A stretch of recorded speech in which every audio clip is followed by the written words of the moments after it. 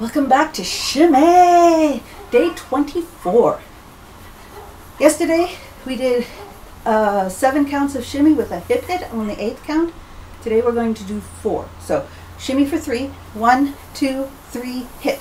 One, two, three, hit. I'm doing hip accents, but you can also do one, two, three, chest lift. One, two, three, chest lift. One, two, three, shoulder roll. One, two, three, shoulder roll. Stop the hips when you're doing that. One, two, three, hit. One, two, three, hit. One, two, three, up. Challenge yourself. It's really fun to play with the different moves. You guys know how to shimmy. You know how to do chest lifts. You know how to do shoulder shimmies. You know how to hip hits. Basic hip. Have fun with it. Mix them up. Your choice. Have fun. See you tomorrow.